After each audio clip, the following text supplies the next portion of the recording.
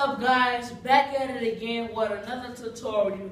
And today we're going to teach you how to use and assemble a reflector scope. So the tools that you need are an eyepiece that we look for of course, a finder scope and allow and it allows us to um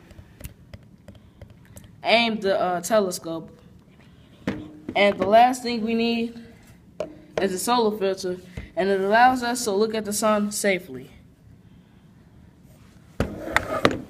So the first thing you need to do is take the caps off. Of course you need to take this off because this is where we use the telescope mainly. And as you look down, there's a mirror and it reflects off a um, mirror right there so we could have enough light to see and take off this piece so it allows us to put the eyepiece in. So basically the eyepiece will go in here, then we screw it up to make sure it's tighter.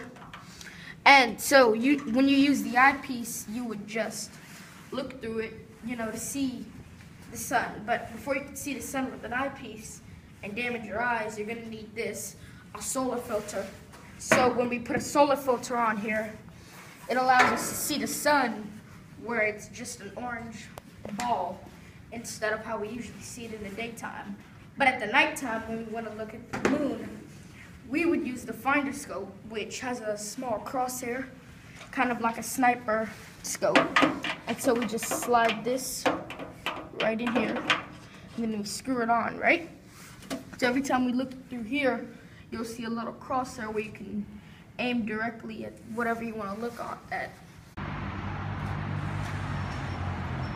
Hi! In order for you to aim the telescope, you must look the eyepiece off into the distance with something! There you go. And this is what we found off into the distance. We used our finder to find the object off into the distance. See?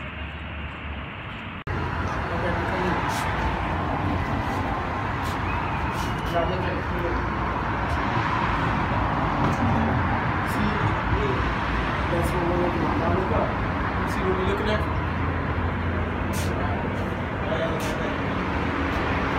Pretty soon we're gonna try to look back.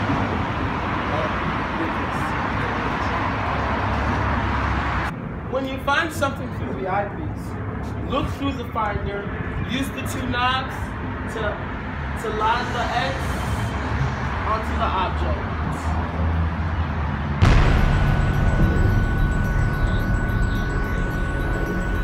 And I got it. When you turn the knobs, you adjust the crosshairs and you find what you are looking for. Thank you and have.